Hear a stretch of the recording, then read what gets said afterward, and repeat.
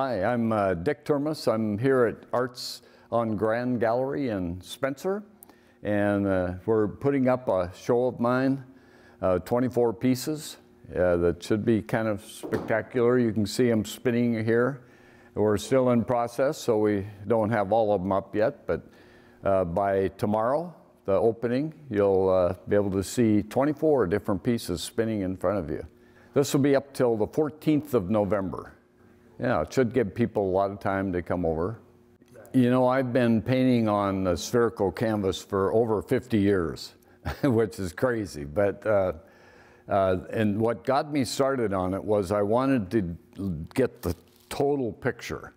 Uh, I wanted everything, uh, you know, I was looking at complete environments that I wanted to capture rather than little pieces of the world. And so I actually wanted a, a, canvas that would allow me to do everything above me, below me, and all the way around me. And so when I finally was playing with perspective, and I came, pushed the perspective until it ended up at six point perspective, and that's what fits on the sphere.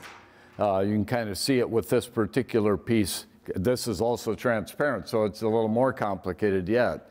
But it has everything, uh, if this is a north direction, south is on the back side, and it takes six different systems of perspective to get all of these lines to go to make it look like a normal world.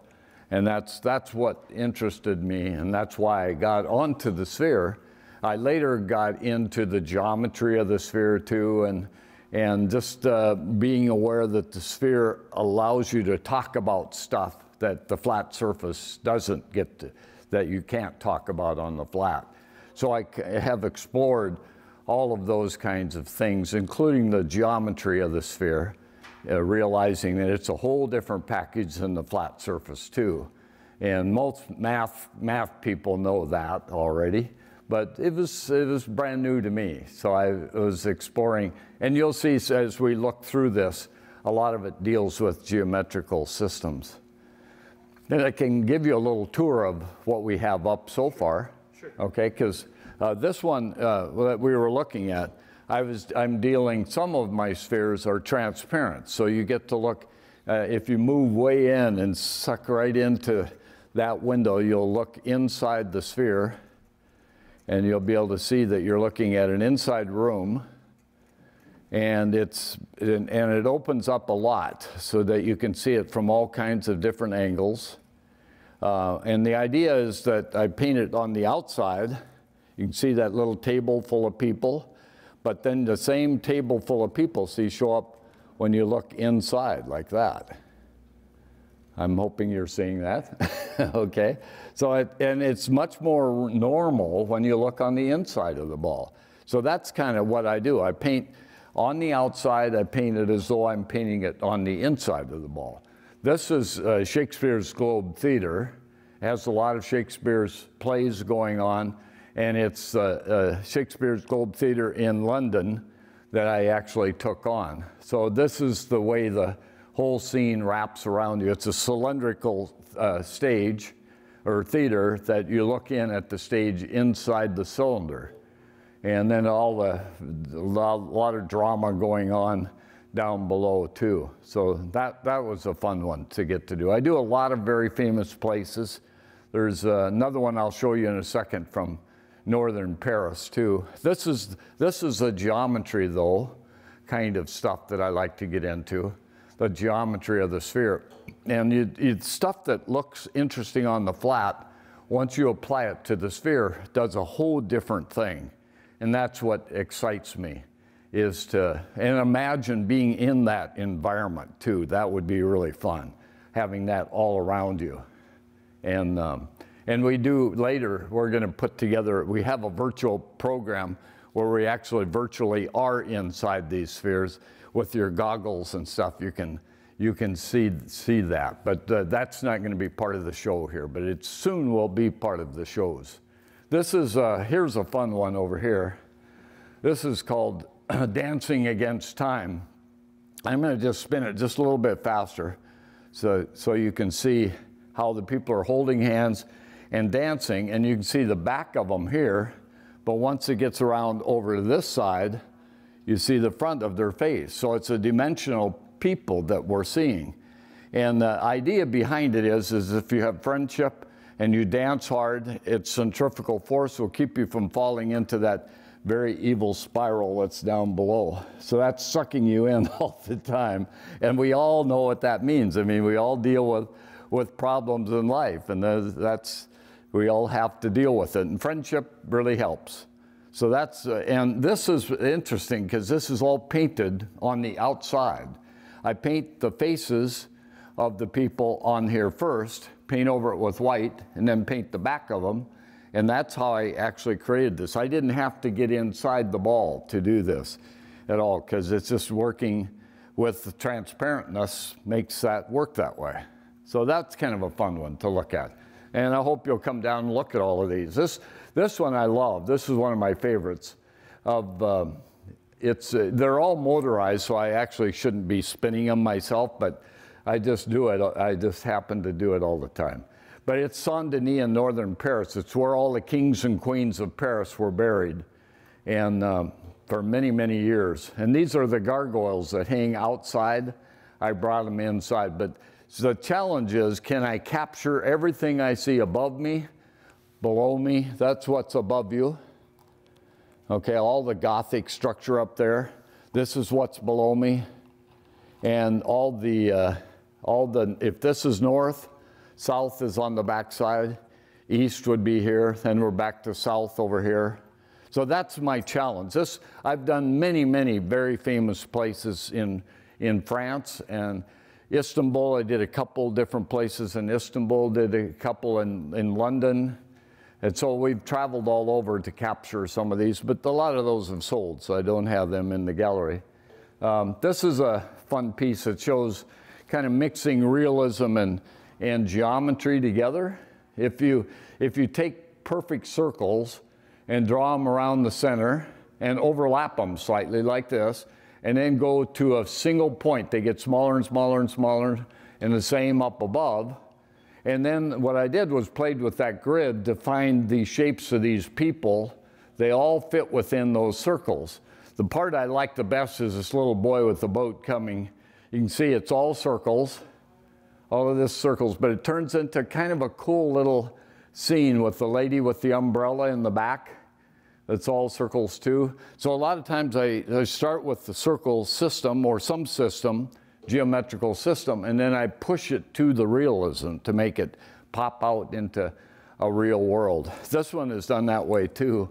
But this one I started with, with the dodecahedron, 12 pentagons that fit over the sphere. And you can see these faces are pentagons, that three of them overlapping. And so I just, I found this little worm kind of creature in this little pentagon right there with this one stacked next to that one.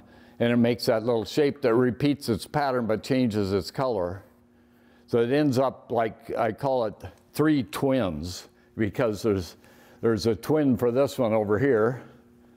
And there's a twin for that one over on this side. And it's, it's just a funny, fun one. So a lot, a lot of them really turn into odd, odd stuff, you know. I just kind of let my mind go. This is a fun one here. This one, uh, because I always tell people I paint on the outside, but I imagine I'm on the inside. Well, this one, you, you get to experience being on the inside for half of the room that's around you. And see that table right there?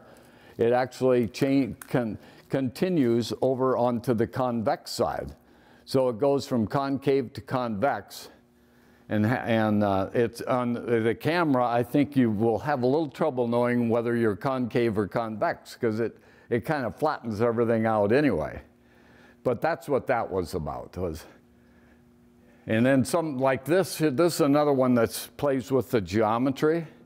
It, it I started with uh, uh, 5,210 triangles over the ball in a very particular system, tight system.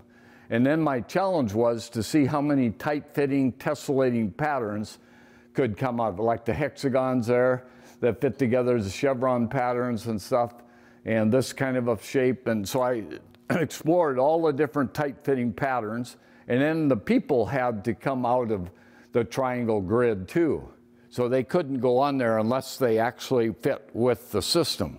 So everything fits with a particular system. And some of these are pretty neat, the way that shape came out. They, it looks very Picasso-y, but there's a good excuse for the distortion in this case. So that's kind of fun. And this, the dancers here. I love the dancers. The way they, they, they just has a gesture that I happen to catch there, I think. So, you know, that's kind of what I do, and uh, there would be a lot more of them if you come down and take a peek at it in downtown Spencer and, and check it out and see what you think. You know, the inspiration and every piece comes from somewhere, you know. And M.C. Escher is a big inspiration of mine. Uh, Bucky Fuller, he, he studied the polyhedron and the structural stuff. I live in like five domes at home, geodesic domes. My gallery at, in the Black Hills is a geodesic dome. And so I, I play with the geometry and I live in it. And so I, the people like that. And, you know, there's, uh, it's just a lot of it is other, like Einstein, some of his theories I've actually feel like I've explored in, within the sphere. The sphere kind of opens up a different type of uh, connection with science and mathematics and and I, I just love to grab ideas and see how the sphere, what it does to how it treats them, to treats the ideas, you know. So yeah, a lot of different places I get inspiration. These uh, opaque ones are polyethylene plastic, and they're they're you know they're made for light fixtures. They'd probably hang from your ceiling with a light bulb inside of them. Um, they're getting hard to find because they don't, you know, there's no real reason to have just a plain sphere. Um, the, the, transparent ones are made by a company in Philadelphia for me. A, a guy actually became my friend that uh, did earth, globe, earth globes for years, and then he produced, uh, uh, but he makes a really beautiful plastic uh, uh, uh, sphere for me. And all the transparent ones come from him. He reproduces a lot of my work too, for silk screens them and has some in my gallery to, to sell and stuff. So we have that also. That I was an oil painter ahead of the sphere idea. Uh, I did one sphere as an oil painting and then I realized that it takes two weeks for it to dry so I couldn't turn it. I was sitting it in a nest and so I had to switch over to acrylics but now I love acrylics best. You know, it's, you can do so much stuff with it. They are for sale, and um, you know we're not here for to try and do sales, but uh, we always love a sale, so that's great. Yeah, I just hope people will come down and check it out. And I thank you guys for coming over and covering this. It's very neat.